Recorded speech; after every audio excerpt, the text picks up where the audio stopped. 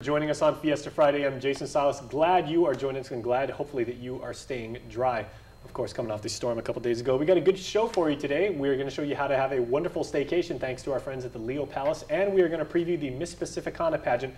That is coming up later on in the show. But August, as you know, is Child Support Awareness Month, and it being the first day of August today. We are going to bring in, of course, the Attorney General of our island, Leonardo Rapadas, and Nick Toft, who is the Child Support Director down at that agency. Now a year on the job, I might add. That's correct, yes. Okay, so let, us get started with that, Nick. How has the uh, job been? What are some of the challenges that you've experienced working with the local community relative to child support?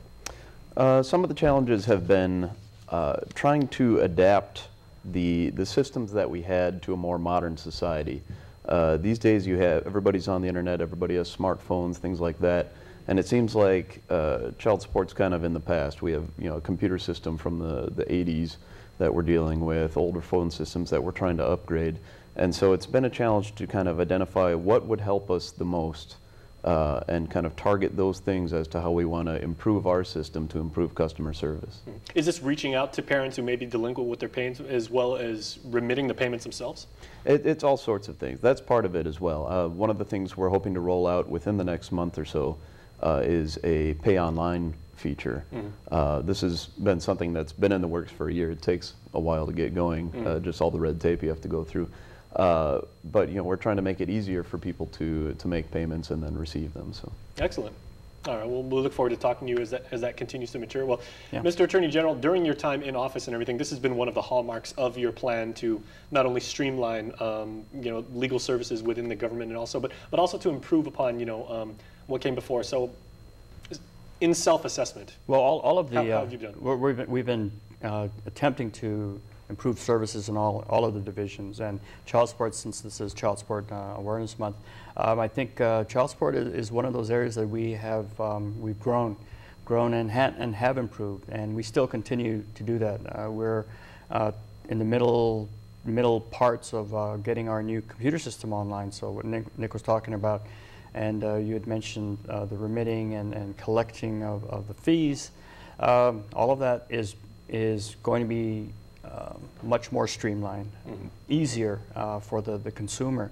And, and what it is, it's, it, it's like recycling. You know, it's a good idea, uh, but until you make it easier for the, the end user, um, they're not going to really get involved. But we started early on when uh, we, we um, worked on the uh, um, electronic deposits when that was that became required, and electronic transfers and so forth. So that's that's helped us with uh, some of the metrics that uh, that we work with the feds on on the, the collections and uh, and all the different sorts of things that we have to keep track on. And that that's what it's also going to do. Not only will it allow us to have better contact and better uh, uh, customer service, but it's also going to uh, give us a better um, accountability to the feds who um, who fund approximately two-thirds of our program. Absolutely. Well, and we say that all the time here at KUAM, you know, like when we launch projects, I mean, the technical engineering is a challenge in and of itself, and that, that's, you know, certain roadblocks you have to do with that, but the social engineering and getting people to actually implement those way more difficult.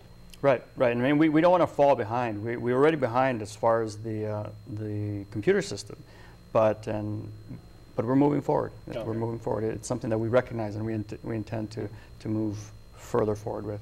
Well, I remember last year, you know, like when the three of us, we sat here and, you know, I was asking you gentlemen about, you know, um, what was the major theme of, you know, last year's Child right. Support Awareness Month. And you were kind of saying reinforcing in the minds of Guamanians and citizens that, you know, some of the penalties that are, you know, that may follow them. Because, I mean, they're, they're real serious um, you know, fines that people face and, you know, like real serious punishments that people ensue. Is there a theme this year that you're really trying to get across or a message that you're trying to marshal in the minds of people who may be delinquent? Well, we're, we're still trying to make sure that, that people understand that there are consequences to falling behind and, and having arrears. Because remember, ultimately it's for the child. It's for the child who uh, the money is for.